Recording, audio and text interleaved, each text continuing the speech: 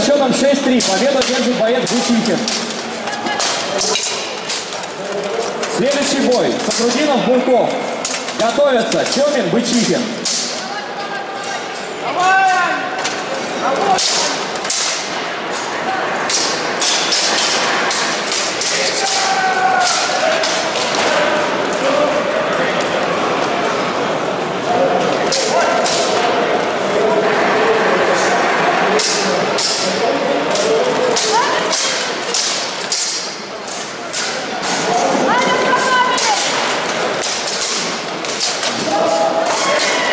Женское ресталище. Следующий поединок.